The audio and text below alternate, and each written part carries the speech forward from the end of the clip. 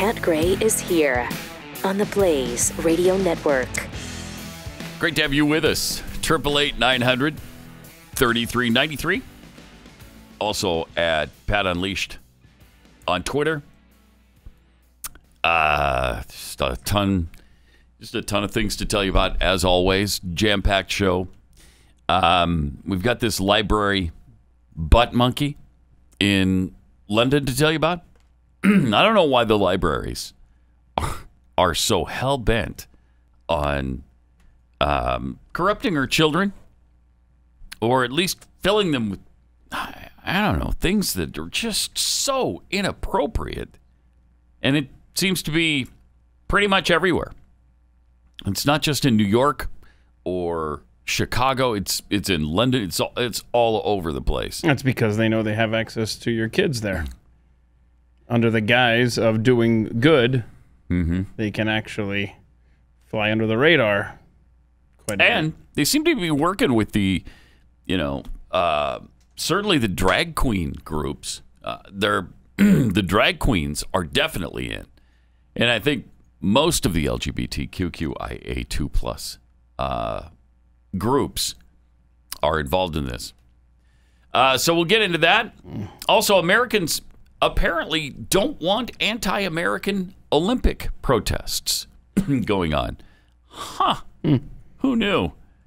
Most racial minorities and even Democrats would not support U.S. athletes participating in anti American protests during the Tokyo Games. Uh, that's after hammer thrower Gwen Berry protested the national anthem following her third place finish at the Olympic trials last month. A new poll says that 79% of the people who responded, 79%, uh, don't want to see protests like that at the Olympics, including 61% of blacks, 69% of Hispanics. Wow. The opposition to Olympic protests was a bipartisan opinion as well. Uh, 72% of Democrats don't like it. 93% of Republicans. Uh, who are the 7% of Republicans saying, uh, yeah, I like it. I like it. Jeez. That's weird. I don't know. I, I like it. I don't get that. Uh huh. I don't get that. Yeah, and then I think uh, 99% of the people surveyed were like, "The heck's a hammer throw?" Yes. I think it was 90, 99.9% of people who didn't have any idea what a hammer throw was. Uh, the only demographic that supported protesting the U.S. Oh, here, this ought to be good. younger Americans. And we're in trouble. Where only 49%, tw- 18 to 24, said it's important to respect the country in Tokyo. 39% disagreed. Even that was a plurality. Wow. 49 39 uh, in favor of not. Huh. Still, uh, the youth in this country, geez, have they been brought up to despise this country? Yeah, I mean, It is really something else. seeds have been planted and Yeah, they have. the crops are in. Yep. At the Olympic trials in June, Berry, of course, turned away from the American flag, put a shirt over her head that read activist athlete while the national anthem played. Uh, she had just received her bronze medal for hammer throwing before the Star Spangled Banner began playing. Said she felt the timing of the anthem was on purpose. I felt like it was a setup and they did it on purpose. I was pissed, to be honest. Yep, it's all about you. Yeah. Yeah, because when have we ever played the national anthem at a sporting event? That's a new thing. That's a new did that thing. Just they did that to her. Mm-hmm. yeah, it used to just be nothing but silence. Yeah, yeah. Just to spite her, they thought, "Hey, what can we do to really Hmm. get under the skin of Gwen Berry?" I know. Let's play the let's play the national anthem. Good idea. She's gonna She'll hate, hate it. that. She will hate that. oh, it's gonna be great. And so that's how that went down. of course. She's so stupid. You excited the Olympics are coming? I am. I like Yeah. the Olympics. Yeah, me too. I actually do. And you do too? Yeah, Oh, I it's do too. Stu that doesn't like him, right? Oh, I mean, Or doesn't care that much about him. I don't know Stu if he doesn't fell on like his head when he was a kid. I know. It's weird. uh, who wouldn't want to see their country perform uh, and do well and win medals and uh, defeat the rest of the world? I mean, think about it. I mean, that's like the one socially acceptable area where you can rub a communist face in it, Yes. and everybody's like, "Oh, that's cool." and we're all on board. Hey, America's doing well. That's the one place where everybody seems to be of one mind. Hey, let's go win this thing. You know, and and as we get ready for the Olympics, the U.S. Olympic basketball team Yeah. with the best basketball players yes. in the world In the world, Pat. This is going to be awesome. What? lost their last two games They lost again? to Nigeria Oh no. and then Australia, mate. Ugh, just I can't take it. 91-83. They they lost. Ugh, yeah. that's ugly. That's not a good sign. No, it's not. That's I mean, LeBron James is not on this team, right? Correct. But Kevin Durant is, is he okay? uh, you know, Steph whole- Curry's not, right? no, Curry's not. So. Curry and LeBron are the two big ones that are out. but there's a lot of stars. I mean, it's packed with a team that should freaking win the Yeah, gold. Right, just Come by on, showing up. just showing up. In fact, that used to be the case. yes, You know? yes. Like somebody pointed out on Twitter in 2008, Team USA would go to a Wendy's and a gas station and then win the next game by 50. That was not an exaggeration. We actually this. have the video. We actually have the video. up to the cameras? Getting a team meal. Hey, What is that right there? That's a phone? Nah, it's a video camera. That's video camera. What it is, what it TI. Getting You know what it team. is? See, Bo- hey, see, Boss 2, we up here at the gas station slash there- Wendy's slash Starbucks. gas station slash Wendy's. Slash frenzy. so you get a burger, get you some gas, and get you some coffee to stay on the road for another five hours in this joint. Yep. You can. Slim Jim.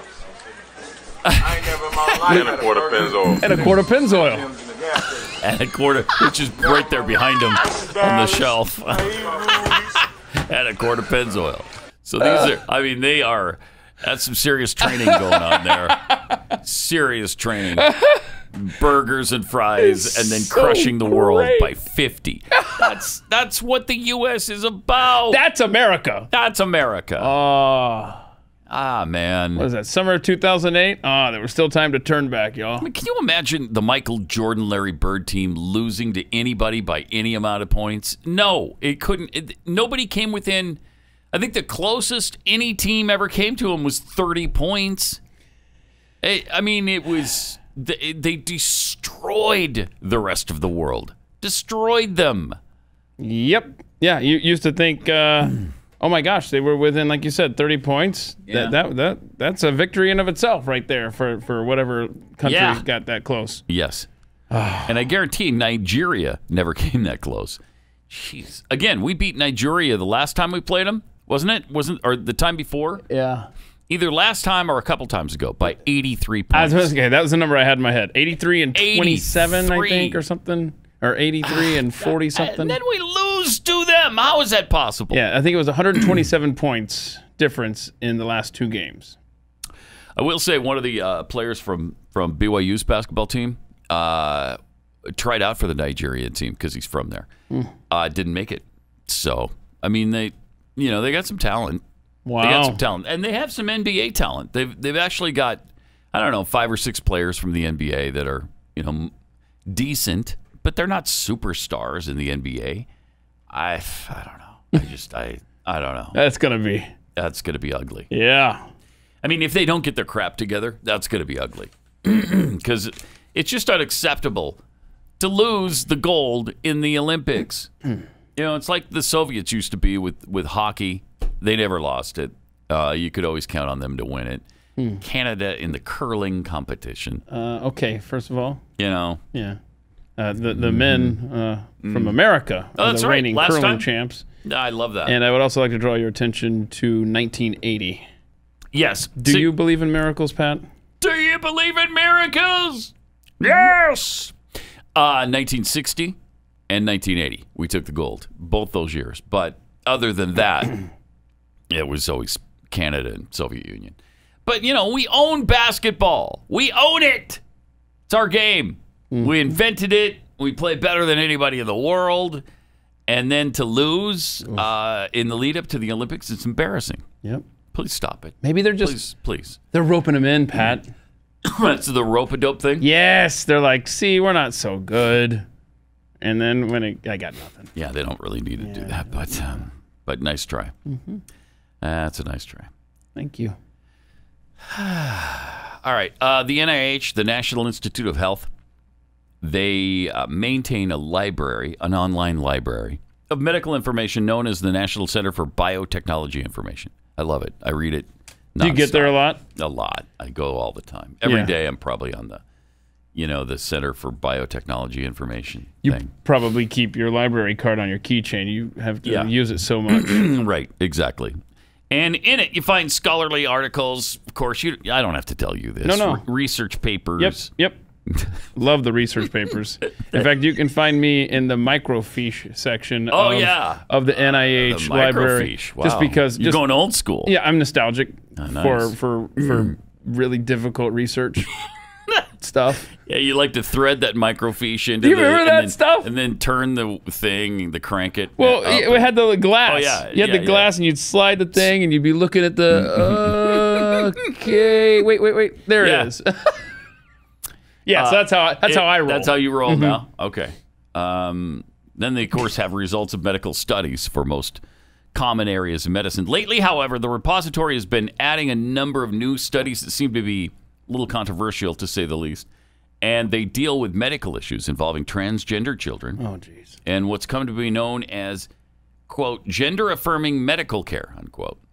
A couple of these studies are now drawing public attention because of the decidedly unscientific, potentially dangerous approach they take toward dealing with families who have minor children dealing with gender dysphoria. Wow, how dare you call it that? who wrote this article? Right. Oh my gosh. You called it gender dysphoria? Oh boy. Bastards.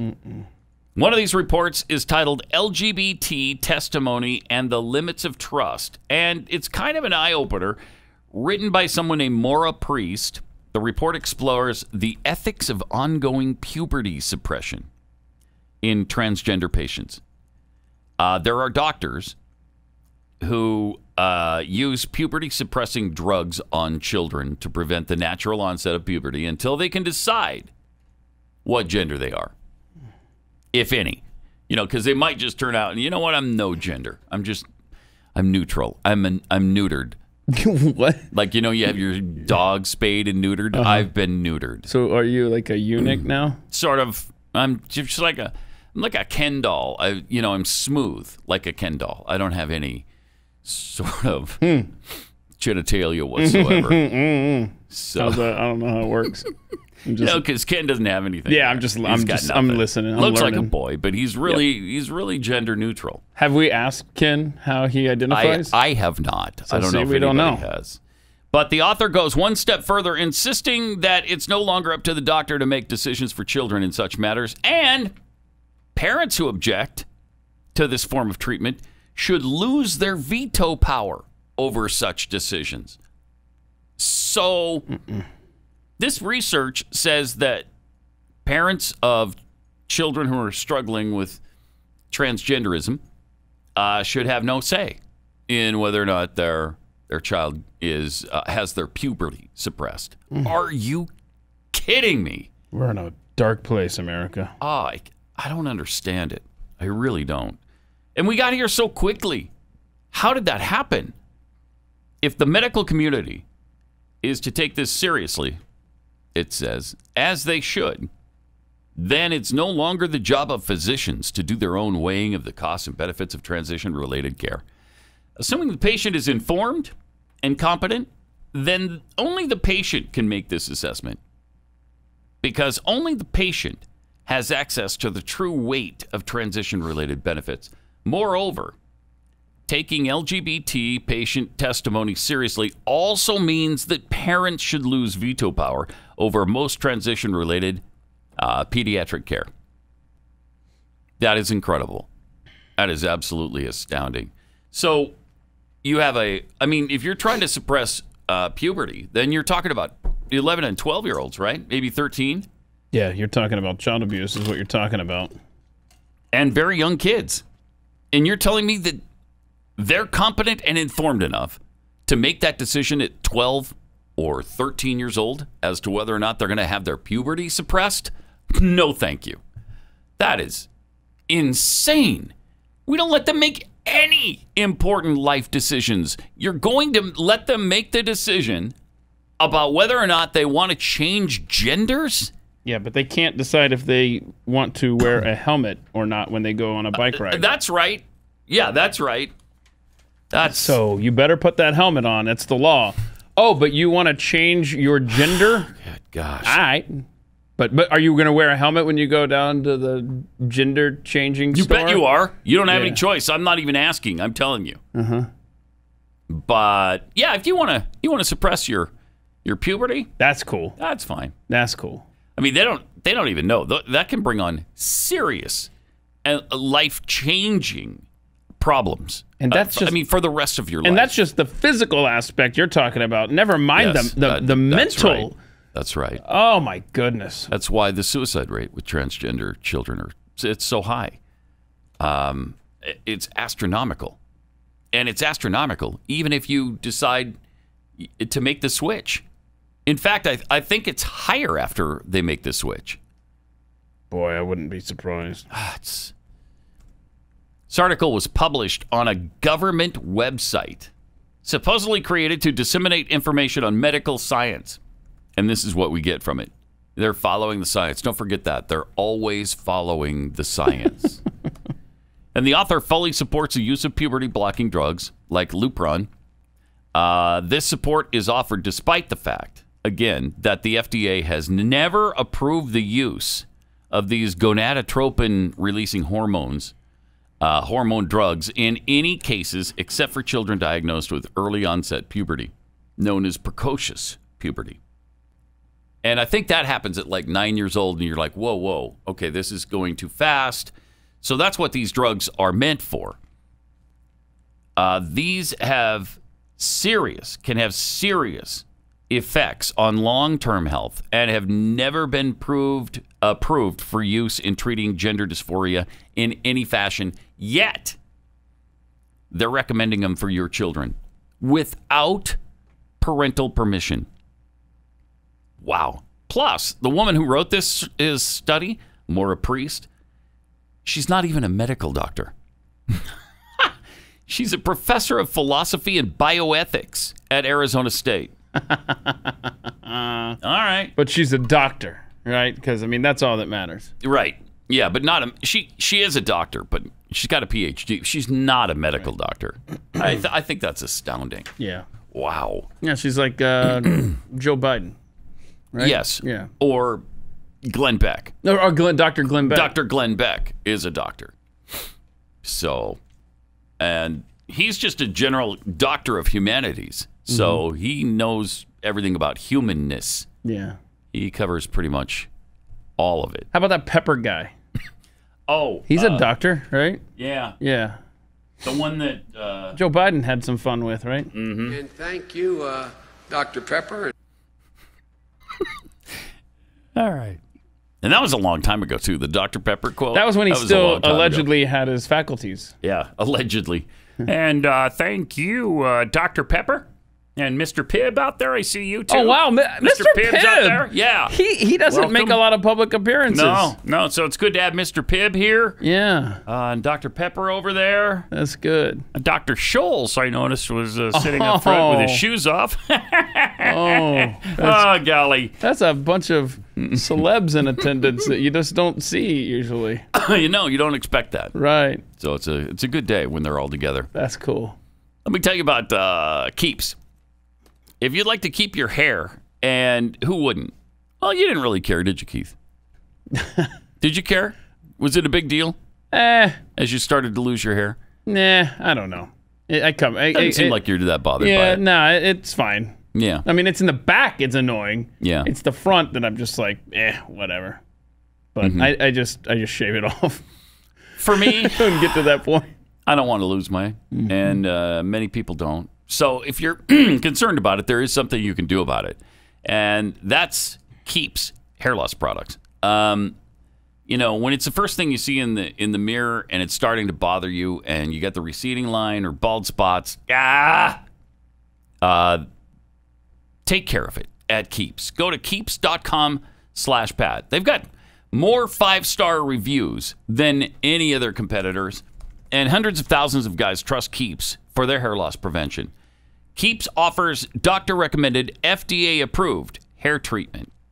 And because they carry the generic versions of these drugs, uh, you pay about half the price. Best of all, you do everything online. Just answer a few questions online, take a couple pictures and post those, and then a licensed doctor will review all that information and come up with the right hair loss treatment for you. Then ship it directly to your door. And if you have any questions at all along the way, you can message your Keeps doctor 24 7 and track your progress with Keeps progress tracking tool. So to get, we'll get you started with a special discount right now. Go to keeps.com, keeps.com slash pat. Get 50% off your first order of hair loss treatments. That's keeps.com slash pat. Pat Gray Unleashed. Triple eight nine hundred thirty three ninety three. Let's go to uh, Robert in Kentucky. Hey, Robert, you're on the blaze. Hey, Pat. A um, couple of things. One, you are so lucky it's Tuesday because if Jeffy had been here today, hearing you talk about being smooth down there, that would have been the next the Fat episode. um, secondly, um, I don't like the name Keksi Cookies. I wish they'd go back to Scrumptious Cookies. It's just such a better name. Okay. But uh, the reason that Done. I actually called is, um, yeah, you'll get right on that. Done. Um, the reason I actually called is I think that the way that we handle this um, situation with kids transitioning is if the parents don't have any authority, then they don't have any responsibility. And I, I was sitting here at my desk, I'm, I'm at work, and I was listening to you talk about it, and I'm just like, you know what? I almost went full on Steve Deace that, you know what? If you're going to make that decision, you're going to be responsible for it. You're going to live with it. And hmm. I'm not taking any responsibility for it. It's not my authority. I don't have any authority. You can't put responsibility on me if you're taking my authority away. Yeah. So, and I think it's more. I would direct it more towards my own kids than I would towards the government because the government doesn't give a crap. No, But they don't. The, it'll scare the crap out of the kids enough, hopefully, that they'll be like, "Well, maybe I should rethink this." Yeah. Appreciate it. Thanks a lot, Robert. Um, yeah, it's it, it's amazing. It it is absolutely amazing. And the government involvement. Didn't we just have a story that the military has decided they're going to pay for people's transition surgeries? Uh, the army, yeah, yeah. Jeez, I, it's incredible. Mm-hmm. Just incredible. And and before we get too far away from it, you had mentioned I bet the rates of suicide are higher after you've made the change. Mm-hmm. Um, let's see here. Uh, 2011 Dutch study found that male to female transsexuals, so is that male-to-female, male to female, Okay. Mm-hmm. higher uh, suicide risk, 5.7 times higher in the general population.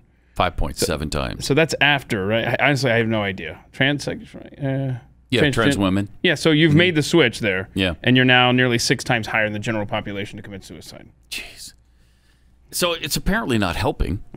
It's not helping anything. Uh, I think you know we might want to rethink this and, and help them out in in different ways. Uh, what do I know? Nothing. I, I, in fact, I named my cookie company wrongly. So what do I know? I don't know nothing. Right. Actually, the scrumptious thing, we had to change it yeah. because uh, there was a copyright infringement. Um, initially, our lawyer said, "Yeah, nope, no problem, go ahead." And then a year into it, oh, by the way, there's a company that uh, is going to sue you if you uh, if you use uh, scrumptious. okay, all right, well, good, thank Boy. you, appreciate that. Boy, he earned his uh, Yeah, didn't he though? his his yeah, uh, it was good. retainer, right? Worked out really well for Uh-huh. us, and thus uh, the name change. And so we went with something that you know, the my son, my middle son, is the president Mm-hmm. of the company, and so he went on a mission to Finland, and uh, it meant something to him to have it, you know, a Finnish name. Keksi means cookie. Yeah, I like that. In Finnish. That works out nicely. But it, but honestly, it does sound like your attorney was. Um, A douchebag, a dumbass, a buffoon. I was going to make a reference to Arrested Development, which I hope Oh. is a show that you'll watch. Uh, Henry Winkler is a is a really bad attorney in that. Uh, Okay. so uh, so when you do finally get around to watching that show, you'll go, oh, there's our attorney. I will get around to that Yeah. too because I've I've always heard good things about it. Yeah. Triple eight nine hundred thirty three ninety three. By the way, so if you want a great cookie, uh, n- uh, scrumptious name or not, Keksi.com is where you should go. We've got these new butterbeer Uh-oh. uh, cookies. I you got to try them. They are delicious. Yeah? fantastic. I mean, I'm a big fan Incredible. of butterbeer. You know, Me down, like too. Harry Potter Yes. world in Orlando, and Yes. Carrie and the kids make Were you surprised how good that stuff was? Yeah. When I when we first went to Harry Potter World Mm-hmm. and tried the butterbeer drink, I was like, "Whoa!" I didn't want to leave Where that restaurant. You know, I know. like, look, yeah, you guys go do rides. I'm gonna stay here and drink butter beer all day. you could drink it all day. yeah. So you got a cookie that tastes like that. Yes. Mm-hmm. So So you should go and get it You at should go get it. That's what you should While do. you're listening to all the podcasts, uh, catch up with the library at, at themikeshow.com. oh yeah. Hey, we're Uh, selling- Who's coming up? Didn't you get somebody good at? Uh, Oh, I've always got somebody good. Pat. but I mean, you got a, a somebody upcoming that you nailed it uh, in a nice way Oh. at uh, CPAC. Uh, I think we're gonna get uh, somebody. I don't want to say it, Oh, okay. jinx it. You, You know, don't wanna say anything. Yeah, I don't have it scheduled right. yet. But uh, yeah, this week we talked to a pastor who makes barbecue, and that's and he came to this studio and didn't bring barbecue, Pat. I I boot him out of the building. Yeah, I'm Get like, out. Yeah, you're talking about God. Get stuff. I got it. Where's the barbecue, bro? Whatever. Get out. Mm-hmm. Until you come back with a delicious barbecue. Yeah. Here's a great meme. Speaking of all this, um, a perfect meme about vaccines sent to us by Jules. I, I love this. I am a transvaxite. Oh. Uh-huh. I identify as vaccinated. yes. Well, then done. That should be it, right? See, we have a word now for it. the objective reality of what's in my body doesn't matter, just like my chromosomes. I mean, we're done. I love that. I love that. That's- Transvaxite. Yep. If it's good enough for the goose, That's what I it's good enough for the gander. I'm a transvaxite. Transvaxite. Mm-hmm. Don't I- judge me. I do identify as vaccinated. Are you vaccinated? Yes. I identify as vaccinated. And how insulting of you to ask. Great. How do they get around that? Oh, they do because oh, they suck. Yeah, yes, exactly. Because the rules only apply mm-hmm. to us. There you go. Not to them. That's why. By the way, the FDA just added another warning Oh, to the. Johnson and Johnson. They are This is- crippling this Johnson and Johnson vaccine Yeah, this is scary, man. for possible link to a rare neurological disorder. Yay!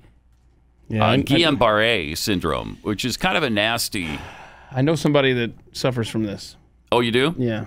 No, I didn't get it from the vaccine, Okay. um, but uh, trouble walking, constant pain. Really? Yeah, yeah, it's not good, man. And this And is is it is it like a lifetime thing or? yeah, it's gonna be a lifetime, Geez. and it gets yeah, not good. So they've they've noticed hundred cases. Now there've been 12 million um, shots of Johnson and Johnson, and hundred of people got this. But Why mean- risk it? why? I don't want any chance of getting this stuff. And it mostly affects uh, men who are over the age of 50. But we don't know anybody in this room that's a dude over the age of 50 that's considering getting the vaccine. Are- Do we? Do no, Anybody? Mm-mm, I don't think so. Okay. Oh, that's plumbing it. Wait. Wait, what? Oh, Wait, hold it. oh, no. Now you've gone too far. Well, you're eight years old. We recently established. Don't forget. Yeah, yeah, yeah. So 95 of those 100 cases were serious enough to require hospitalization. One person died. Oh my gosh. Already? Uh, it damages nerve cells and can cause muscle weakness. In rare cases, it can cause paralysis. The cases, which are now under investigation by the FDA and the Centers for Disease Control, have largely been reported about two weeks after vaccination and in and mostly males. Uh, yeah, as you mentioned, 50 and older usually. yikes. Johnson and Johnson said in a statement the company had been in contact with the FDA and other regulators. Oh, good. They're on. Oh, they're on it. The government's on it. Don't worry about it. They'll fix it. They'll give you your life back. Everything will be fine. That other person that died is going to come back to life. Government's on the case. Go ahead and get vaccinated. Mm-hmm. In fact, I'd say get Johnson and Johnson and Pfizer. Just to kind of Yeah. be safe. Yeah. And throw in Moderna too. What the heck? You just want to be super, super vaccinated. Transvaxite. Pat Gray. Got some tweets here. Uh, DMX DM tweets. As long as Team USA basketball gets a gold medal in social justice. Mm-hmm. We're all winners, right? right? sure. Yeah, right, right. Uh, Vladimir Putin tweets Are we just dismissing the possibility these players are losing on purpose to make the U.S. look bad as a form of protest? Now that would be a theory I would support if LeBron were on the team. Yeah. Kevin Davis tweets I'll watch the Olympics when they have our version of football as an event. Oh, we dominate that. Oh, man. I would hope so. Since literally two countries on earth play it, and they're right next to each other. Uh, Tyler Bell tweets I now identify as 501c3. I ask that. I ask that all retail organizations respect my new life choice and remove the sales tax. Yes. All right. oh, I identify as a 501c3. I love it. I love it. Uh, Mr. Co- Mr. McCoffee tweets If I took my child to an R rated movie, people look at me as if I was a horrible parent. If I took my kid to transgender reassignment surgery, I'm praised and considered a great parent.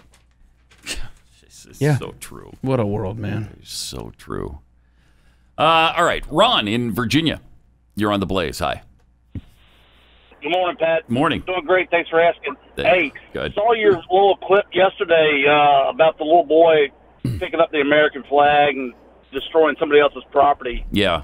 I mean, the, the borders are free. If you're not happy here, you Yeah. can leave. Exactly. And try try and do this crap somewhere over in China or Japan. Mm-hmm. You'll never get away with it.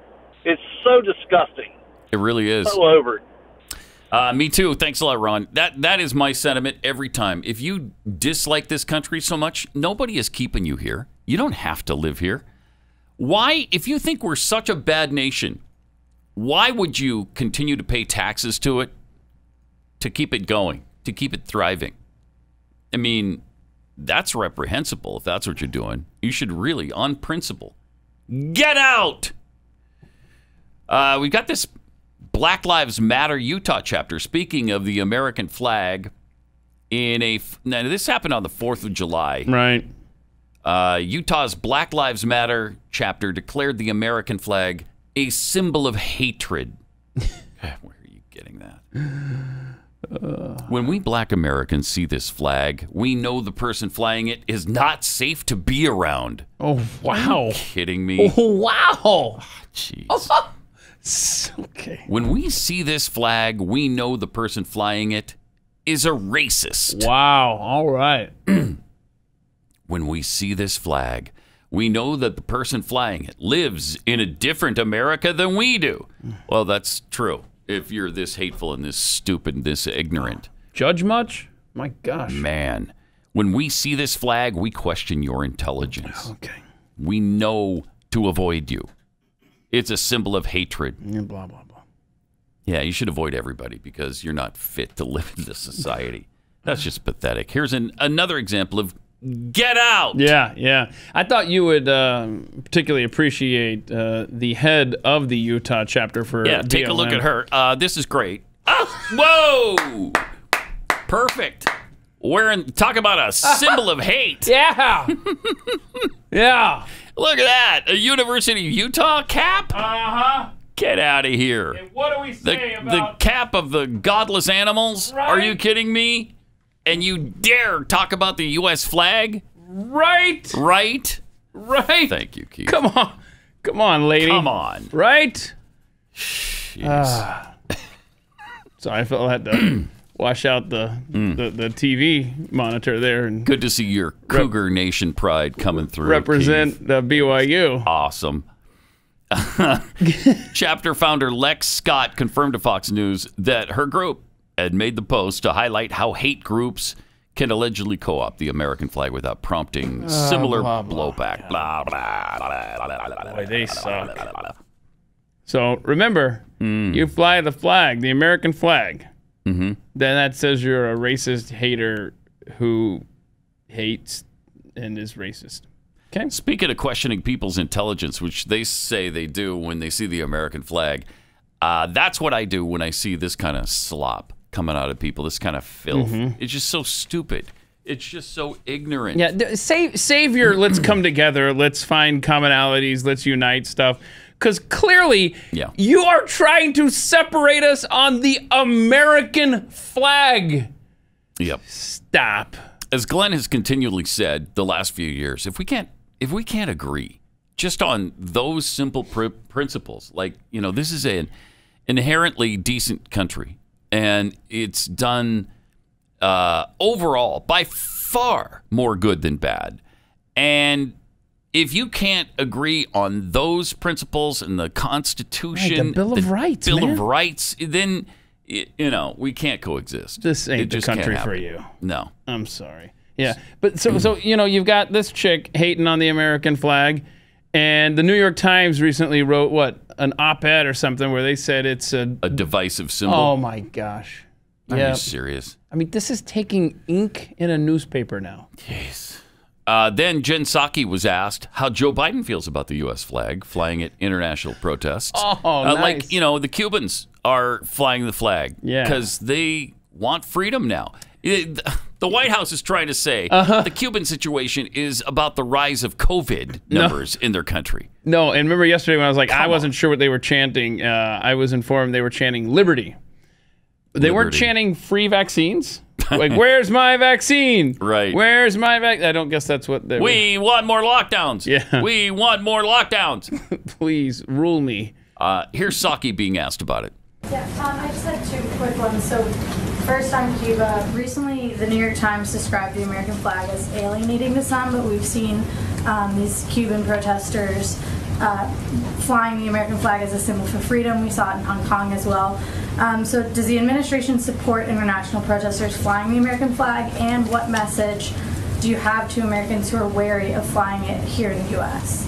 Well, I would say first, uh, the the president certainly values and respects uh, the uh, the uh, symbol symbol Uh, of y- the, the, American uh, flag. Uh, he's someone who uh, the, certainly uh, the, uh, uh, waves it outside of his uh, house or ha- does in Delaware and, and other places where he's Does lived uh, he? throughout his time. That's Uh, wonderful. but he also believes that people have the right to peaceful protest, and he Oh. thinks both can be true.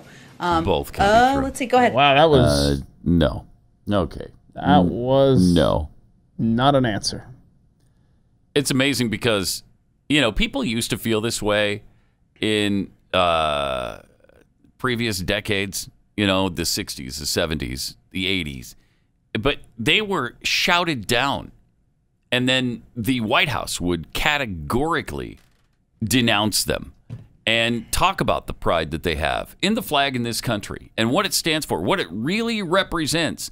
And we could all get behind it. Just a tiny little minority of malcontents. We didn't even worry about it, which is why you didn't have to worry about them staying here or going somewhere or whatever. And people rarely said, if you don't like it, get out. Because it wasn't a sentiment that needed to be stated. Well, now it does because we can't even agree on the the American flag uh, being a symbol of of a great nation, the greatest nation that's ever existed on the face of this earth. There's there's not enough people anymore that believe that, and it's it's chilling that uh, we're in the place we're in. It's hard to believe. Jeez. So I, I remember laughing at people like that. Mm-hmm. You just dismiss them because it was such a tiny fraction of this country. Eh, it's not the case anymore. Uh, let me tell you uh, about iTarget Pro. Um, you know, practicing with your firearms can be really enjoyable. It's a lot of fun. But with the cost of ammo going through the roof, well, it's been through the roof. Uh, if you're looking for a cost effective, safe, and simple way to practice, iTarget Pro is where you should go. It was invented to give law abiding gun owners a better way to train in the safe, safety and privacy of their own home. I love mine. No more inconvenient trips to the range or expensive practice ammunition. Have you tried to buy ammunition lately, uh, Keith? it's outrageous. Yeah, it's yeah, and it, and you can't find it. Right. That's the problem. It's out of the store as soon as they as soon as they restock. It's gone. Yeah, my father-in-law has a new gun, but he can't find ammo to fit it now. That's really something. That wow. sucks. So all you have to do is download iTarget's proprietary app, load the laser bullet into your firearm, and then start training. Uh, it's an excellent experience because of the laser bullet. Makes it safe, obviously, so bullets aren't going through your walls or through people. Uh, and it shows you where on the target your your shot lands. It's just it's great. Dry fire training too will help you develop muscle memory and uh, sharpen your target reaction speed, your sight alignment, trigger function, all that stuff. iTarget Pro comes in all the major calibers, including 223 for your AR-15, so you can you can be sharp with almost any firearm. Go to itargetpro.com, save 10% plus get free shipping when you use the offer code PAT. Smartest way for you to practice. It's the letter I, then targetpro.com, itargetpro.com offer code PAT.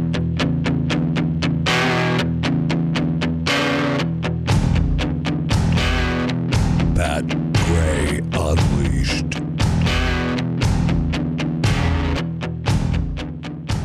Triple eight nine hundred thirty three ninety three. Also at Pat Unleashed on Twitter. Uh, hey, the FBI wants you to snitch on your family and friends. This is really such a great plan. Uh, they've made posts on various social media recommending that quote family members and peers unquote turn people in to the FBI if they suspect them of homegrown violent extremism. Here we go. You know, according to the FBI, family members and peers are often best positioned to witness signs of mobilization to violence, help prevent homegrown violent extremism. And then it tells you where to visit and report suspicious behaviors and report them to the FBI. Jeez. This is like the George W. Bush thing after 9 11 that I hated so much. When it was the spy on your neighbor situation, you see something, say something. Yeah. And, he, and they had this uh, sort of mandate to postal workers and Got to be vigilant. Remember? everybody had to be vigilant. And if you see anything suspicious at all on the houses that you that you visit, why please report them to Homeland Security immediately. It was a it was a beautiful spy on each other uh, sort of feel to America that was really wonderful. And here we are again. Uh, the Twitter post also includes a link to a booklet put up by, put out by the N- Department of National Intelligence, the DNI, telling what warning signs to look for in your friends and loved ones. The indicators are ranked, uh, some of them being highly diagnostic on their own. Others require one or more other indicators to gain diagnosticity. Okay. Okay. Very good. Also, the booklet uh, concluded with risk factors to watch out for in others. You know, like A, the biggest risk factor, are they white? Okay. Are Hold they on. white? I feel like I should make a checklist because see if this is describing anybody we know. Okay. Okay. So uh, Are they a white? are they white? All right. Check. Okay. Do they own a gun? Do they own a gun? Well, can it be at the bottom of a lake? Technically, Yes. technically you own it, right? Yes. So okay, so check. Okay. Mhm. White gun. Uh, have they ever said anything positive about Donald J. Trump? Donald J. Trump positive. Mm-hmm. Okay. Check. So far, um, I can think of a couple people Me too. that aren't too far removed from Me too. this room Mm-hmm. that this applies to so far. what else you got on your little checklist there? Did they actually vote for Donald J. Trump? vote for Trump? Mm-hmm. Okay. So so far you've got a four for Do they have an American flag? a U.S. flag. Do they have one? Do they own one? Yes. Check. If so, Yeah. do they ever fly it? Say on it. special occasions, such as everything like such as the Fourth of July. Okay. I mean, so far this is I'm scared right this now. This is yes. I'm six, scared. Six issues here.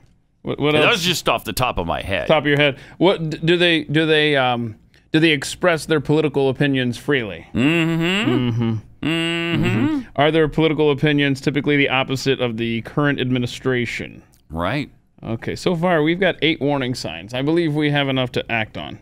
Do they listen to country music? What if they listen to country music? Why then?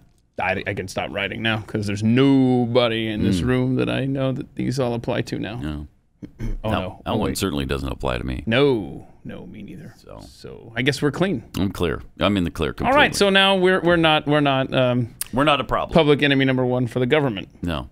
We don't check all the boxes. Have they ever listened to Fox News? Okay. That's So a I guess warning sign for sure.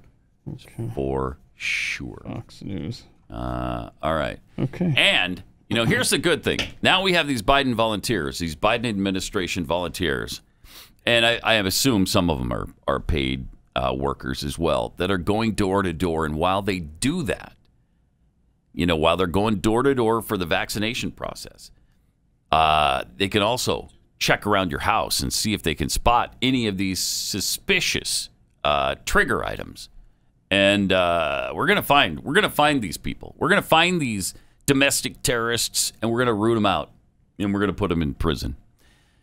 Um, and so I'm very happy about the rules that Biden has set up for his uh, door-to-door vaccine salesman, including ignore all no solicitation signs. I think that's great. Don't you don't have to abide by that. That doesn't apply to you at all. You're not selling anything. And as as we established yesterday, in order to be soliciting, you don't have to be selling anything.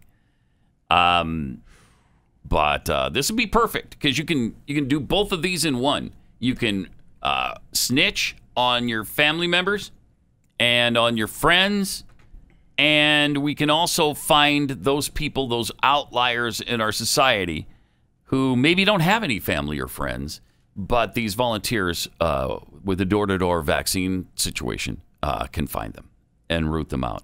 Isn't this fun? We're going to be a much healthier nation soon. Yes. Soon.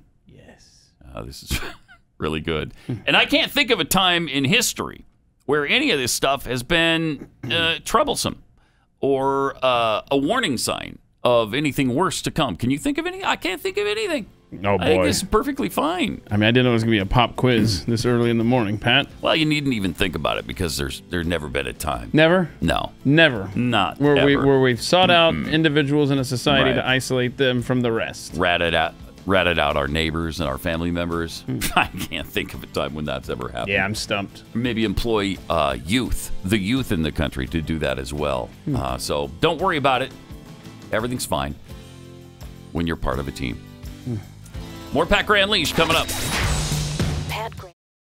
Great to have you with us. Uh, I got some tweets here. Jimmy Dimples tweets on the non-answer to the protesters flying the U.S. U.S. flag. I thought Biden was supposed to be the incoherent one. Psaki did sound a tad incoherent there, but um, speaking of that, at uh, one of Biden's recent uh, press conferences, I believe this was maybe not yesterday, but the day before. It was even yesterday. I don't know. Time goes by so fast. Who knows? Uh, no, it wasn't the day before because the day before was Sunday. So no, it was yesterday. Okay. Uh, where he had uh, this to say. Work for the release of detained Americans, including uh, Mark, uh, uh, excuse me, Fer- Ferrix. I, I want to pronounce the name correctly. I miss I misspoke.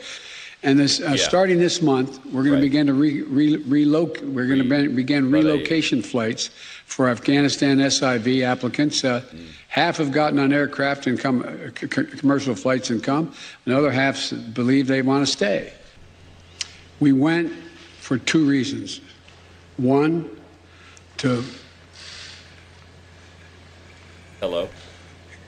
bring Osama bin Laden to the gates of hell, as I said at the time. So that keeps happening to him. His brain just locks up right in the middle of a sentence for two reasons to bring Osama. I mean, I. Seriously. Wow. Good grief. Wow, that's frightening. Very frightening. Yep, there he is, the There he is. The- Leader the- of the free world. Leader of. President of the United States of America. How proud we must be. There Exactly. it is. Yeah. That's right. Bring, uh, Bring bring. Osama bin Laden to the gates of And hell. wasn't he against that? Yeah, he was. Yeah. Yes, he was. Because it was the toughest decision, Keith, in the last 500 years. But to me, that's conservative. I think it's 5,000 years. You do. Yeah, I do. I do. What do you? There's never been a tougher decision in the in really in in mankind's history. So you think long about 3000 BC there was something a little bit There tougher may than deciding whether or not. Uh, to- but I'm not even willing to Huh. guarantee there was. Maybe though. Maybe. maybe. In 3000 BC. I'll see what happened back then that, that you're hedging with. Uh, the Bronze Age came Okay. to an end. Yeah. that's probably that's probably the tough part there. Egyptians around 3000 BC decided to uh, make paper from papyrus. So Oh, did I bet it's when That's you were you were decision. trying to hang on to the past. You were like, no, let's chisel all the time. That's Right. a tough decision. So I can see where you know. Hey, this stone tablet Mm-hmm. lasts a lot longer uh, than a piece of papyrus will. Yeah. So yeah. so so you that were torn. decision. You I- were like, yeah. Do do we keep chiseling or should we kill the the terrorist mastermind Exactly. of 9/11? Right. Those are Yeah, the guy who killed 3,000 Americans. yeah. yeah, So you had one- to go yeah. back that far Hard to decision. find a decision. Especially when we made the decision like the first day after 9 11. Uh, we mourned for a few minutes and then we're like, okay, let's go get that guy. And uh, that decision had been made long in advance of when Barack Obama came around and finally pulled the trigger on him. Uh, Tobin for Pope campaign tweets Can you really call yourself fully vaccinated if you haven't at least sampled all the available options? yeah, you can just just remember you're a transvaxite, Right. right? You just Yes. identify as being vaxxed. Al Gore's artificial insanity. Here's the hilarious irony. To those people that hate this country and the flag, try your blatant disrespect in one of those socialist communist countries you love so much. See what happens. Mm-hmm. Todd Curtis tweets If the answer to gun violence is to get rid of guns, what's the answer to road rage? Getting rid of roads? I like that. That would save us a lot of money on the infrastructure bill. Uh, there's always a silver lining, you know? Yeah, yeah. I, that, that's why they got rid of that road that used to go between my house and your house. Right. There's just too much rage going on. Like, ah, Too we solve this problem and just That's right. They took it take out. it out. Yeah. Big oil fish and chips. Uh, if it keeps the dumbasses away from my residence because they're scared of it, I'll get the largest American flag I could possibly find and proudly fly it. Petty Officer America, I'm going to call on the FBI and snitch on everyone. I know who's BLM, Antifa, or just a leftist in general and report them as dangerous extremists. Hmm. Let's see how long this lasts. Okay. Mm-hmm. We could go that direction. Certainly. Mm-hmm. That's an option. Um, also, we have this judge in Ohio. You know, here we are talking about whether or not vaccines are mandatory. And, geez, the, the longer this thing stretches out, the more mandatory they seem to be.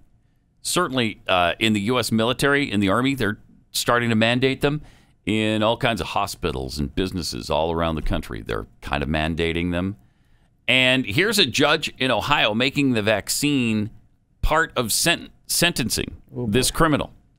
Common Pleas Court Richard Fry tells me he started using the COVID 19 vaccine as a term of probation in his courtroom last week, but not for everyone. He ordered it three times out of 20 different sentencing hearings. I did talk to one of those three offenders today, and he tells me he feels very strongly about this and feels that this order violates his civil rights. What happened? One week to the day. Uh, the case was about um, a gun charge and some drugs. Franklin County criminal offender Sylvan Latham tells me he stood before Common Pleas Court Judge Richard Fry. I know Judge Fry's reputation. reputation. I know he's known for giving people max time, jail time, all that. I don't want to go to jail. I don't want to have five years probation. Latham thought his attorney struck a deal with prosecutors to three years probation. But during his sentencing hearing, Was stressed out right then. I didn't know what to do. I was kind of, I was very put, very much so put it on the spot. Latham said the judge told him he'd give him the five year max unless he got a COVID 19 vaccine. Wow. With the shot, Jeez. Latham said his probation would be cut down considerably to just one year. Shaking at this point, like I don't really like where this is going. In the moment, Latham agreed. Now his terms of probation state he must get the shot in the next 30 days and provide proof to the probation department. He has your future in his hands. Do you feel that's an overstep? I feel like it is an overstep, especially when he mm. asked me would I get it, and I said I really don't want to get it. I spoke with Judge Fry by phone. He tells me of the three cases in which he ordered COVID 19 vaccinations. None of the offenders said they had a religious or mm. medical objection. He said this is him doing his part to inch the community closer to herd immunity. Your job. He said something about a new Delta Crazy. strain out attacking like black people, but I, I haven't Huh. had any symptoms. I told him I've been fine. Like Uh-huh. I just went to the hospital for strep throat, and they didn't try to give me the vaccine. So Latham tells me he's not trying to get out of punishment for his crimes, but also doesn't feel injections into his body Thank you. should be part of the time. it's not. Yeah. Like how do you? That's my health. Wow. Yeah, that's his health. What is a judge doing sticking his nose into this health related issue? How about you pull out your uh, your pocket constitution there in the courtroom and Yeah. read the Eighth Amendment about cruel and unusual punishments? Oh my gosh, that is so unusual. That's we- that's bad, man. Where, what? That is not your job to get people vaccinated as a judge. Jeez. So this guy has to decide now. And he's obviously pretty hesitant on the vaccine. He, he obviously doesn't want to get it. And so you're going to force him into it. Well, I'm sorry. He gave up his rights when he committed a felony. Did he give up his rights to his his body, what he, what he puts into it? Yeah, does the punishment fit the crime here? I don't think so. That that makes no sense. There is no connection whatsoever Jeez. to his crime. Uh, what was it? A gun charge and a drug charge. To oh, well now you're getting the vax, or we're just gonna increase your uh, time served. Okay, well, Isn't it crazy how obsessed obsessed the uh, vaccine supporters are with getting people who don't want to be vaccinated to get them vaccinated? If again, if you've been vaccinated, don't worry about what I'm doing cuz you're protected. Well, the most vulnerable among us, the most vulnerable are protected to the tune of 89% of them have already made that decision and gotten their vaccine. 89% ridiculous. It's, it's insane. And it's getting worse. Uh, Fauci, hasn't Fauci, we were just trying to think off the air a few minutes ago. Mhm. Hasn't he said that he doesn't, he's not in favor of mandates? Shouldn't be mandated, the vaccine. Well, I found where he is skirted around it by saying there should be no federal mandates. Okay. But no federal. Huh. I don't know. I, I feel like there was something a little bit more. He now seems to want mandates for Oh, the vaccine. Here he is talking about. it. local level, Jake, there should be more mandates. Oh. There really should be. We're Wow. talking about life and death Talking. situation. Yeah. So I am in favor of that. You know, one of the things that will happen, and I think Mm. the hesitancy at the local level of doing mandates is because the vaccines have not been officially fully approved. But people need to understand that the amount of Help data Help right us, now Majesty. that shows a high degree of effectiveness and a high degree of safety is more than we've ever seen with emergency use authorization. These Hmm. people are sick. they are. Yeah. I mean, seriously, they are uh, like th- you. You picked the perfect word. Obsessed, bro. Back off. Yeah. Mean, Oh. It's it's the opposite. And I again, I think it's because their control is starting to slip away a little bit. They're trying to pull it back. They don't want to lose the control they have over the American American people. Um, and we got this guy Klaus uh, Klaus Schwab. Schwab. Yeah. Schwab. hmm He's with the uh, World Economic uh, Forum people, whatever the W. Is he related to the guy who paints cars? No, he's related to the guy who takes your money and invests it in stocks. Oh, okay. Charles. Okay. Yeah. All right. So yeah, He wants to immunize the internet. Yeah. So uh, listen, listen to them try to, to to extrapolate this from immunizations from COVID nineteen to oh, we're gonna take care of the internet too. Oh, All right. Masks are not sufficient. We need vaccines to immunize ourselves. The same is true for cyber attacks. Here too, we have to move from simple protection to immunization. We need to build IT infrastructures that have Yeah. digital antibodies built in inherently to protect themselves. To protect themselves. That's bad. Dummkopf. And it's worse when that in that accent. I'm telling you, every time No, that's true. you No, read it in a- a German accent, I'm sorry, that makes it about a hundredfold worse. That's a fair point. But listen to what he's saying is that we need to control the internet to Yeah. protect the internet. That sounds oddly familiar. Yeah. Don't go looking around, Benito. okay. Thank you. So So this there is you go. good, right? Yeah, this is good. They want to control your information. They want to control your body. Right. Uh, they they they obviously already are controlling your kids in the schools. I don't know. There's like, what's left? What's free still, Pat? Hmm? Lunch? Is there any free, There- free there are lunch? no free lunches. No free lunches. No free Okay, lunches. Even that's been taken from us. Yeah. Doggone it. Now there is Mincome.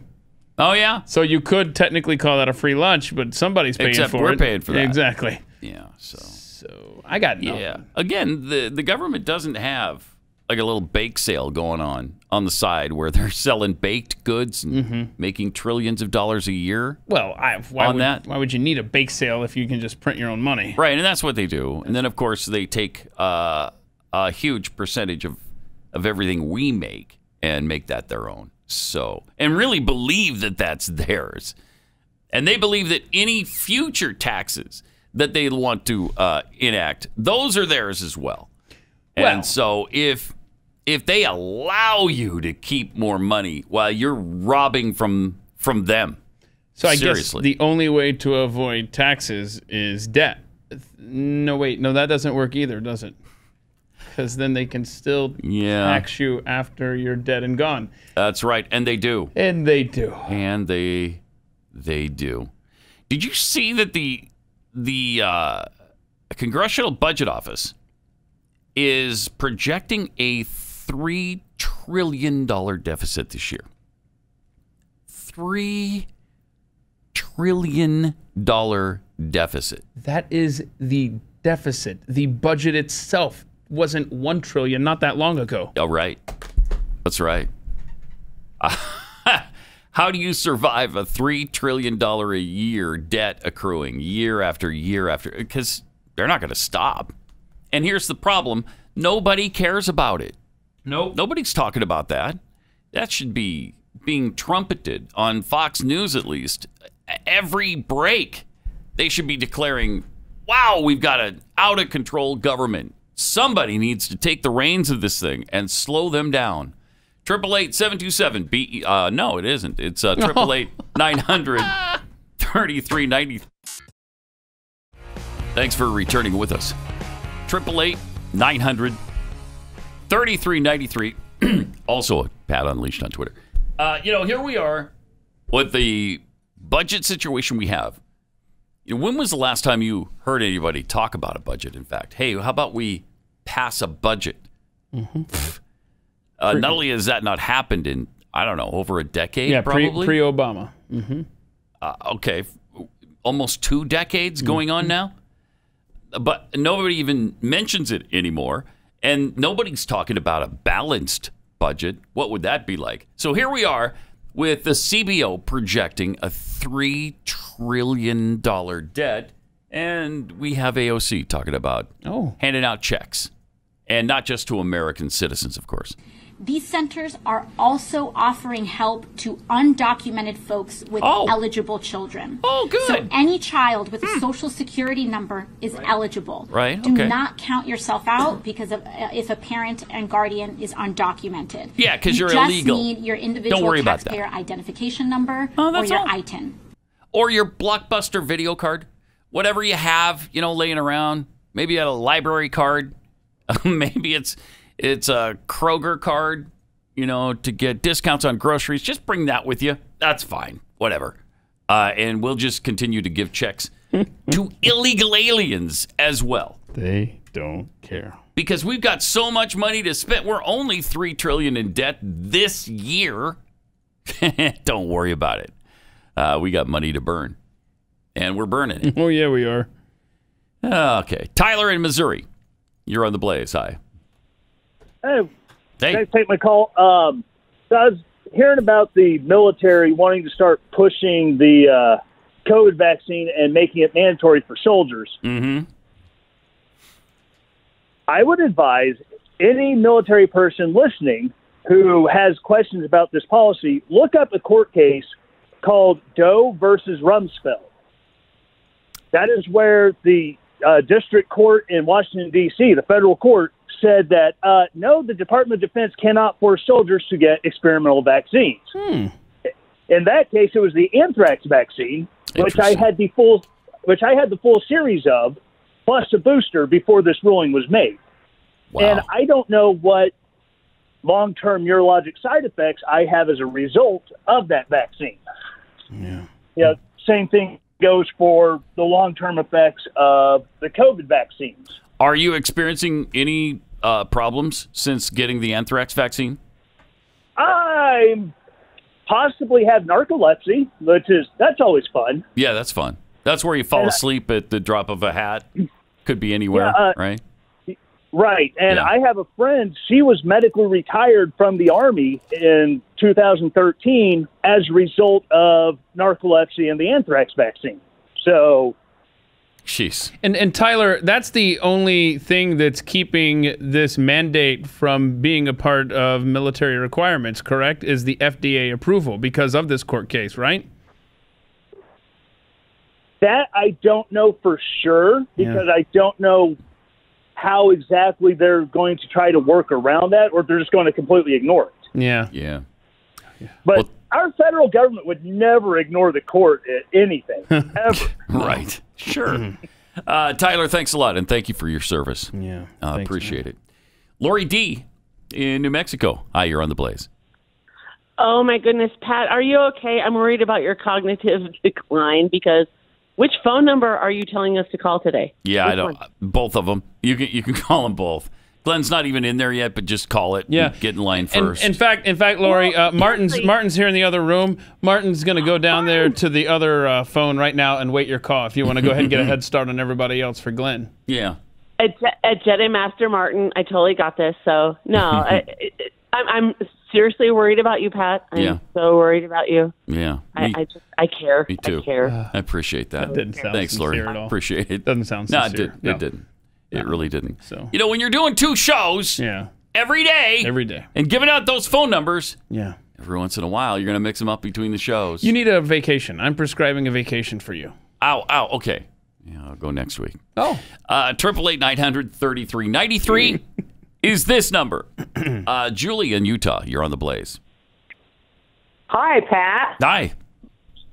I watch your show every morning, me and my husband. Thank I'm you for doing Utah. that. That's fantastic. You're fantastic. welcome. I love your conversation, you and your friend there. My friend there. Yeah. The other guy. Uh huh. The other guy. Kevin. Yeah. What's his name? I forgot his name. Kevin. I did I'm too. Kevin. I can't. Oh, It's Kevin. Nice to meet His you. His name's Kevin. Hi, uh, Julie. Hi, my sister-in-law lives right down the street from you guys. Oh, really? In uh, where? Where does she live? Somewhere in the DFW area, Metroplex. Uh, Dallas, Fort Worth. Yeah. My husband will tell you. Oh, that's One right down the street from Yeah, you. right down the street. Right. Yeah, Dallas Fort Worth. That's the oh. that's the town you live in. Thanks, Julie. Well, we'll be sure to say hi to her when we see her at 7-Eleven. Bump into her somewhere, even though we don't even know her Well, I mean, you're you're the neighborhood gadfly, so you just pick a a, a business Exactly. to hang out in and just exactly. have conversations. and just go and talk to Right. people. Just talk and talk. because it's not like you do that for a living. Right. Whereas when, when the mic shuts off at eight o'clock, especially First thing I want to do is talk some more. Right, because you're you're you don't Mhm. have double duty down the hall here. Right. With Glenn's show, and you're like, ah, what can I do? I'm going to go down to the 7-Eleven and hang out and be the gadfly. Exactly. Mm-hmm. Just that's that's me. Gadfly Pat. Uh, I think people just get fatigued from the amount of conversation I I just uh, Hmm. uh, bombard them with. Yeah. I would say it's a bombardment. Yeah, and it's it can't be unique to us. Like in your job, talking to you, the viewer, the listener, do you when when you get clocked out, do you want to go home and talk about your profession or your job? You know, like I don't want to talk politics when I get done here. Uh, no. I, I, I can't imagine people do, right? Sometimes I get you know motivated by something in the news to tweet out a link and, and bitch and moan about something like that. Yeah. But I mean, that was the whole premise behind my podcast. Is like I needed a place to not talk politics. yeah. So that's why I created at the mic. But I can't imagine that anybody, like if you build cars for a living, you want to go home and Talk, about, building cars, building cars, or build more cars, or build at more- home as actually, a hobby. Actually, that was probably a bad example Yeah. because a lot of people do that. Uh, all right, we've got Hilary Kennedy coming up in a minute. Yep. If there's one thing you probably know about her, uh, it's that she's a UFC fan, and she loves violent bloodbaths in the ring. we, we didn't get that over the weekend. No, that was over before it Uh, started. we didn't. Although it was grisly. Have you, you seen Yes, I have. video? Yeah. Yikes! Conor McGregor and Dustin Poirier. Poirier, yeah. Uh, duked it out, and uh, Poirier won, kind of. Well, we'll get into that with Hilary coming up next on Pat Gray Unleashed. And we are happy to have joining us Hilary Kennedy from the Four Minute Buzz, also a an ardent uh, UFC fan, loved the blood and guts of the UFC. Yes, thank you for having me back on. Uh, it's great to have you. You also went on vacation last week. Want to get into that a little bit? Uh, it's great to have you back. Anyway, uh, UFC 264, right? Yes, Conor McGregor and Dustin Poirier. Dustin the Diamond Poirier. Yes. Mm. This was the fight I was looking forward to the most all year because I'm a huge Conor McGregor fan. Mhm. I will say this I felt in my heart like Poirier might win simply because he has a ton of motivation. He still feels like he has something to prove. He's still working his way up. Conor's already been at the top for a Mhm. while. And he doesn't he wants the win, he doesn't need the win. Hmm. Poirier needs the win. And so I that alone I felt like maybe would give him the drive to defeat Conor. Hmm. Although I was hoping Conor would, you know, pull something out and win because I just love watching him win. Yeah. Um, but the fight was actually a pretty big disappointment, I think, Yeah. by most accounts. Well, uh, for those who don't know, Conor McGregor uh, stepped weirdly, I guess, on his leg and broke it. Ugh. Just from stepping back. Now, there's speculation that uh, when he tried to kick Poirier earlier, Mhm. Poirier blocked him with his elbow, and maybe that cracked it to begin with. Yes, they think that's what it was that he that he checked Conor's kick and that's when it broke. Um, this was at the end of the first round, so I mean, I think most of us were hoping it would at least go to the second round, but Poirier Yeah. did Well, win by con- TKO. I mean- they stopped it. Couldn't get up. The yeah, you you pr- were probably watching on pay per view. Yeah, well, we were streaming. I was on vacation, so Oh. trying to watch the fight from a Holiday Inn in Albuquerque is not as easy as you would think that it is. With a two and a half year old, they What? were also trying to get to go to sleep. yeah. So I didn't get to watch it with the critical eye that I would like to have had, but um, but yeah, it, it was weird because they they stopped the fight. Conor was on the ground still yelling about it. He wanted I to keep swear. going. When you see the footage, if you watch the fight, you can Oh, see the break. I mean, disturbing. it is brutal it's to watch. disturbing So- because his leg literally breaks in half almost, and it's headed the wrong direction. Mm-hmm. Yes. It's gruesome. Well, and the last time that they fought back in February when Conor lost, he was pretty gracious about it by Conor standards. this time, Jeez. he's he's in the octagon on the ground, clearly in pain, and still hurling insults Yeah. At Poirier, Poirier. and Poirier's wife, Yes. Jolie. Your wife's in my DMs. Yeah. Oh my gosh, this it's so classless. Yeah, he called her a Not not, cool. very nice name as well. So on the way Oh, out, man. Poirier's wife flipped the bird at Conor and just Uh, You're kept going. literally being carried out on a stretcher, yelling at the guy who, by all intents and purposes, just kicked your butt. Right. I mean, stop. Yeah. Stop But I will say Conor did look really good up until the break. So I think if that All right. You think he was accident winning hadn't fight? happened, honestly, no. The judges still had Poirier as being the winner of the first round, but not Wow. by much. So I think Hmm. had they gone to a second round, it could have been anybody's match. I really do believe. But yeah, the freak accident kind of killed How it. long is he in that boot? When's he coming back? uh, six months, I Oh. believe, is how long they think it's going to take before he's really back to fighting shape. Wow. I don't know. So six weeks on crutches, but they're saying like six months at least before he's really truly able to to fight again. But because he's hurling insults at him, as he's no doubt in excruciating pain Yes. on on the canvas, uh, that kind of gives you an indication of why Poirier called him a dirtbag or whatever it was he called him in the uh, post fight interview. Yeah, there's no love lost between these two. How'd and, that start? And well, With you know. Connor's just a trash talker by nature. Poirier's really not that guy. In fact, he even said in the the press conference afterwards, he said, "I actually hate all this stuff." Mm-hmm. Mhm. He said the only reason that I fight is because I'm good at it and I can Mm. make money doing it and I can help people through my foundation because he's really involved with his charitable foundation, The Good Fight. And he said, other than that, I hate all this. So he said, Mm. I stayed off of social media for months before the fight. I didn't want to hear any of the noise. I didn't want to hear anything Conor had to say. And Conor was fairly silent on social media while he was training, but he just loves to trash talk. And Dana White even said, "Man, you you, you know you're going too far. You're crossing the line." But Conor said, "You need fighters like me. Yeah. You know, it brings eyeballs. It gets people upset. It gets them excited. So It's very true. it's it's classless. Yes. Is it entertaining? yes.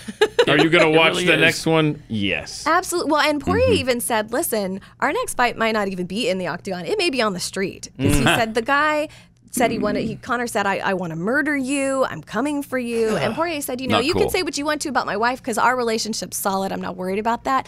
But threatening my life, that's where I draw the line, and I'll take it outside if we need to. So when you're better, let me know, and I'll knock you out, no matter what." So What a mess. Wow. stuff. Well, Conor is 32, I believe, right? He is, mm-hmm. So, I mean, he's still he's still young enough. He could make a decent comeback, and he wants to fight him again, right? He wants to He fight him does. for a fourth time. he called this an illegitimate win. Yeah, How many times has he retired? Uh, five or six, maybe. it's a lot. Quite a bit, yeah. Yeah, and it's a lot. Khabib Nurmagomedov even said, like, you are finished, Conor. You need to hang it up. You should have retired, you know, three or four times ago. Mm-hmm. But uh, I just don't think his ego will let him retire yet. He's got to have one more win because he's had so many losses in a row now that I, I think it's is it four in a row? It's it's three or four. Yeah. Maybe three. I'm trying to remember. But ah, I mean, the UFC doesn't really have a star like him that's No, on the they- rise no, they yet. don't. And and again, Poirier's a lot like Stipe uh, Miocic. He he's there for the fight. He's not there for the show. He Yeah. really is in it for the fight and the money and that, and wants to go home. Conor is there to fight, but he is there for the show. He loves being a celebrity. He loves being a star, and they need some other. They need some fresh blood like that. they do. I, I don't know who that would be because, like you said, nobody seems to. Jeffy. Jeffy. Yeah. Yeah. Jeffy, get in the ring, do some damage. Jeffy. Yeah. Yeah. We'll the talk him. athletically overweight Jeffy. Yeah, Take him two weeks Uh, to get in fighting shape. Three tops, four maybe. I don't know. years, Year, decades, something like that. It's not happening. So, how was your vacation? Uh, I wouldn't really classify it as a vacation as much as it was we left town and I didn't work. But I can understand why people. I have a lot of friends that don't travel with their toddlers, and I couldn't Yeah. understand why until now. Until now. Traveling with a two and a half year old, not as fun as you would imagine. Uh, I, yeah. I thought, you know, in my mind, I was like, we'll be making all these warm, fuzzy family memories, but it was Yeah. really more just a string of tantrums and Yeah, I was no say sleep at night. You're making memories, just not warm Right, fuzzy yeah, ones. Just not yeah, good memories. exactly. Yeah, that's nice. Although eventually you'll look back on it as a good memory, I bet. Because when he's, you know, 17 and graduating from high school, then you'll think back. Then I'll miss oh, it. Oh. remember those days when we thought it was obnoxious and now I'd have I'd do anything to have that back. Uh, so anyway, welcome back for your vacation. Where, where did you go? Did you go to Colorado? We went to Colorado. We go to a little tiny town called Creede, Colorado. It's in southwestern Colorado. So the closest kind of big town would be Durango or Gunnison, if you've heard of those. the next big big town, yeah, Durango. so they don't have a stoplight. Um, It Mm. truly is, Wow. you know, getting away from everything, which is wonderful. But if you're getting away from everything, that's also getting away from anything that's fun for a toddler. Because they don't Mm. hike, they don't fly fish, they don't rock How old is he climb. now? Two and a half. Hmm. So They also learned that the hard way. I see why people go to fishing yet? Disney World. yeah. I see why people do things Yeah. like Disney World, water parks, theme parks, keep them entertained because middle of nowhere Colorado, there wasn't that much you could do yet. So But there's a Holiday Inn in Albuquerque. But the I hear. holiday, yeah, that's a happening That's- spot. That's a good spot. So when's the next big UFC event? Is there one lined up? That's a really good question. I they talked about that after the fight, which I didn't get to see because Which my UFC would son be woke up about four times Oh, after the fight. no. Um, so yeah, I'm not sure. Look that up. because I'm Two sixty five. positive. Is that I'm- what it'd be? Saturday, Mhm. August seventh. Okay. And is there the headliner? Who's who's Lewis versus Gane? Does that mean anything to you? Doesn't mean you know, anything they to have me. a big one like this, and then the next one or two is usually people that are you know Here you relatively not Unknown. known. I, I don't know. Uh, Okay, so and then the women's side is uh, Nunes versus Pena. Now Nunes, that will be a great fight. there's, there's your uh, Nunes poster is for. scary. Okay. She's in the. Mod- Is she the one in the Modelo commercials too? She is. Yeah. Yeah, She so is a scary chick. I wouldn't want to fight her. A lot of those UFC women are scary chicks. they are. They're. I I, mean, those fights the are the with 'em. best. Watching women come to blows and blood's flying and teeth No. are flying. No. That No. That is entertainment. No, no, I, I'm no. You don't like I'm to not watch giving two you this. women scrap? Hell no. What? No, under no circumstances, whether it's on pay per view or in Walmart checkout lanes, I don't want to see women I think fighting. it's a lot more exciting to watch the women fight because it's there's something in us where it just seems unexpected. Yeah. You know, we're used to seeing men fight in real life and on TV, but seeing two women just really go for it, I think that's amazing. It's our sexism coming through, but Yeah. mm, uh, I'm not sure we share that. All right, Hilary, thanks a lot. Uh, we'll be watching for you on the four minute Thanks buzz. for thanks for on. coming in. um, you know, Built Bar is uh, fabulous. Mm-hmm. These are healthy for you. These make these get through my day because They of these. they help you get through the day. Yes. They uh they are high in protein and fiber and they're low in calories and carbs. And so you don't have to feel guilty when you eat these. Uh, now, if you eat like seven or eight of them during the day, maybe that's a different deal. But um, they are fantastic, and it's hard not to eat seven or eight of them because I- they're delicious. I'm telling you, case in point, just yesterday I had a 2:30 lunch. Okay, I eat breakfast at like 4, 5 a.m. Okay, and I was like, oh my gosh, what am I gonna do? 10 a.m. I had a built bar, and I was good to go until this 2:30 thing. Yeah, it's awesome. Uh, and uh, this this week, uh, you can get the grasshopper cookie flavor. It's got 150 calories, 17 grams of protein, five grams of sugar. Uh, but who cares about that? What does it taste like? it tastes absolutely delicious. It's like a classic thin mint cookie. Um, all the flavor without the sugar. Now, if you're a living, breathing human being, that probably gets you about as excited as it gets me. But Built Bars are so incredibly delicious that it amazes me they're they're still healthy for you, and you don't have to feel guilty about eating them. Go to built.com, use the promo code PAT15 and save 15% off your first order. Promo code PAT15 for 15% off at builtbar.com.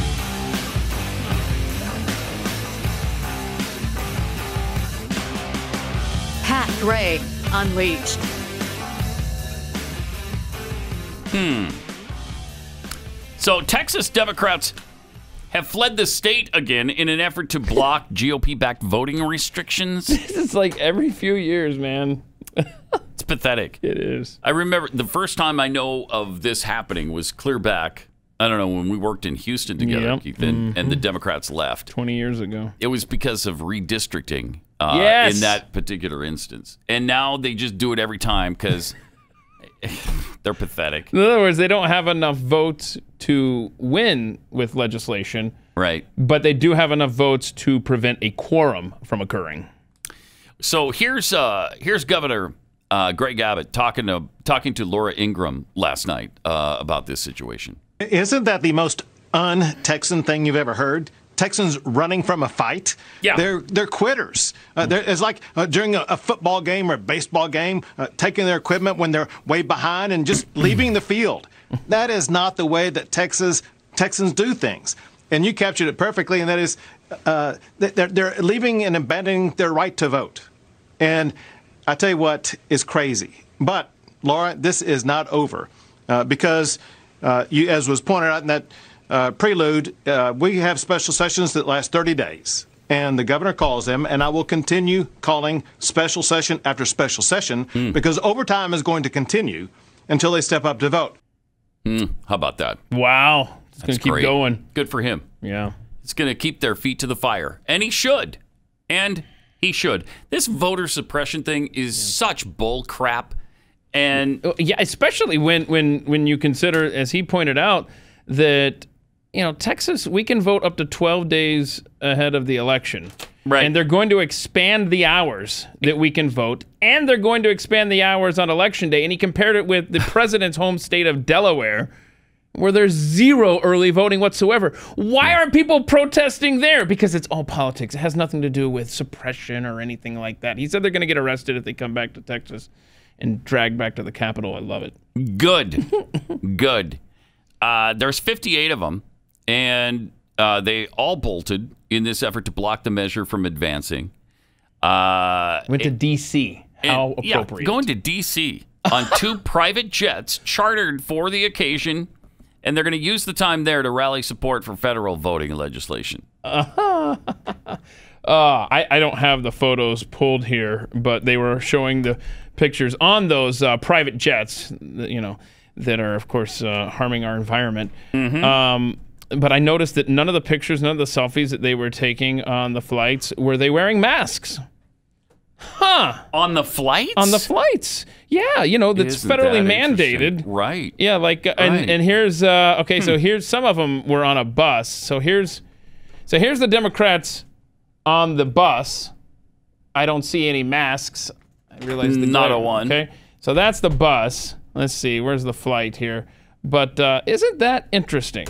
Sure is. It's I mean, we shouldn't be surprised. That's all they do is make rules for you, but not for them.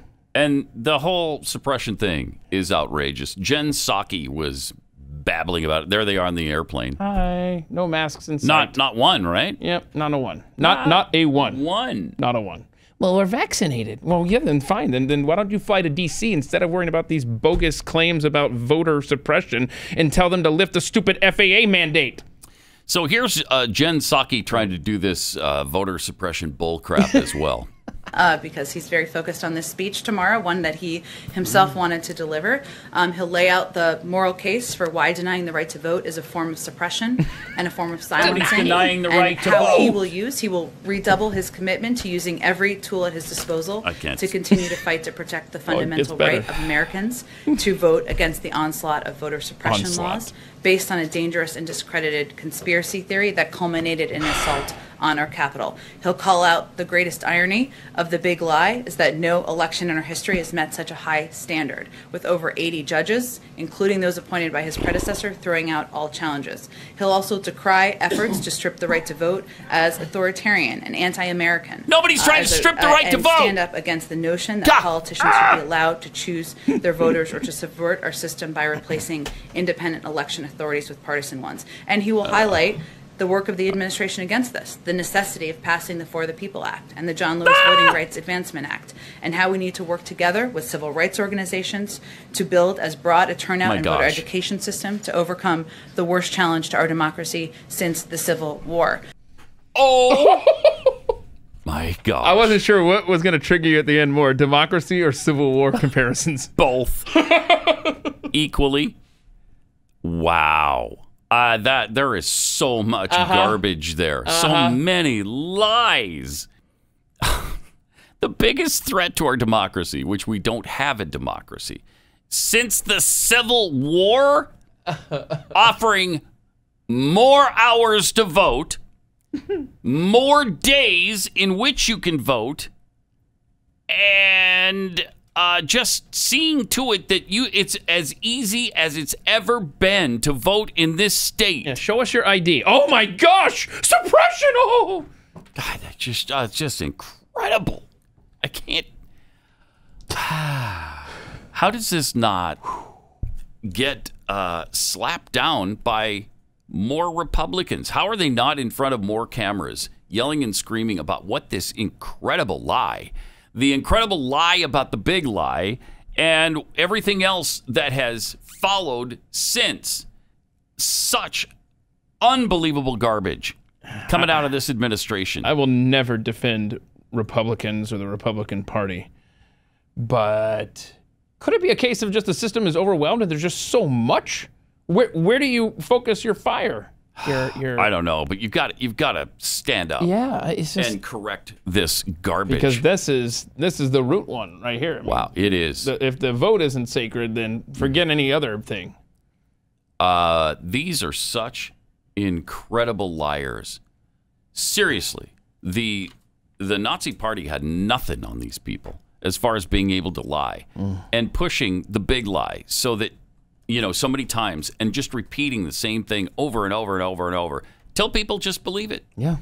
Tell people believe, oh my gosh, Republicans are taking away people's rights. Nothing could be further from the truth, especially in Texas. I mean, the Georgia law is the same way. Mm-hmm. There's more opportunity to vote. More, not less. It's just unbelievable. It's truly maddening. They add Sunday voting, but take away one hour from the rest of early voting because it's Sunday. Uh, and that is voter suppression. Yeah. and, and and remember that argument that we were hung up on with the Georgia Mm. law, and we're like, why do they cut off voting earlier on election day? Yeah. Well, that's because there's time for you to get to your polling place. Right. Uh, uh, they, they, they, they, they made it so that you had to be at your polling place on election day in Georgia if it was um, at a certain time of day. Remember that? And we were like, Mm-hmm. why are they why are they cutting those hours short? Well, they're just saying you can't go to, you know, a place across the other side of the state because they're going to need to count your vote at the end of the night. ah, I, it, it's It's so frustrating. Yeah, yeah, and- there's just not words to express my frustration over this. and you're like, hey, uh, look at how they repeat this lie until it sticks. Absolutely. I mean, and they are the the the the biggest uh, example of that is one six one six one six. Oh my gosh, it was the biggest Oh, threat yeah. since the Civil War. Oh, in our republic's history. Oh, of course they wouldn't say republic.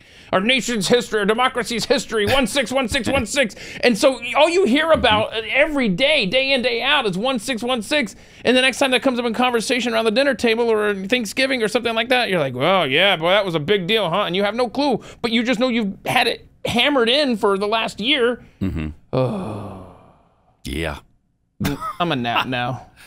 Uh, they've really gone to hyperbole, and I think they're doing it because uh, it, it works on so many people. Low information voters. When they can tell you that one six was the biggest deal since the Civil War, and then they turn around and tell you that uh, the Texas voting law is the biggest threat to our democracy since the Civil War.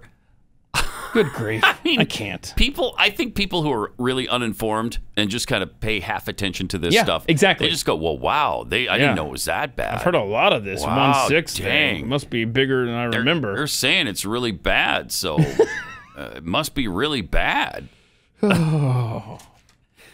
it's fun, right? Uh, no, no, it's really not. Yeah. So uh, I'm not having fun with this. i- you're gonna have to go to the 7-Eleven today and hang out at the cash register and, And talk, talk to to people, people. about this because Yeah. I know you enjoy doing it I so do. much. I really do. and there's there's a Sev right across the street from us, and so I'll be there. You'll be at the 7-Eleven right here in Irving. Look for me at the 7-Eleven in Irving, talking to the uh, cashier about the Georgia and Texas voting laws. While you're there, can you get some of the going rotten fruit in the basket they keep at the cash register there? Sure. Hey, we give you three Yeah. for dollar. All I right. don't want that. No, because Yeah. it's got a bruise and it's gross and the banana's all like brown. Get out. Right. So, yeah, but I'll get one for you Thank you. and bring it back. Aw. Um, I I don't know. I just I don't know what to do. It's I, I don't know how to. I I don't know why Republicans can never do a better job of defending things like this that are so easily defended. Mm-hmm. You're not out there telling people, look, there's more hours, there's more days, there's more time, there's just more opportunity to vote and in Texas. You remember how frustrating it was during the 2000 uh, primaries or, or the election where they were like, well, why won't George Bush speak out about the Confederate flag flying at the state grounds in Charleston or in Columbia, South Carolina? Mm-hmm. Well, why aren't you bugging Al Gore about his dad's votes against civil rights, man? Yeah, they, and that's no. what this is. Why aren't you bugging Joe Biden about his home state of Delaware where you can't vote early at all? That would be such a great argument. And sadly, nobody's making it. Nobody in Congress, nobody with any power. Uh, it's it's incomprehensible. It really is. All right. It's been another fun day, and we will see you tomorrow for even more fun. And Jeffy will join us for it here on Pat Gray Unleashed. Pat Gray, only on the Blaze Radio Network.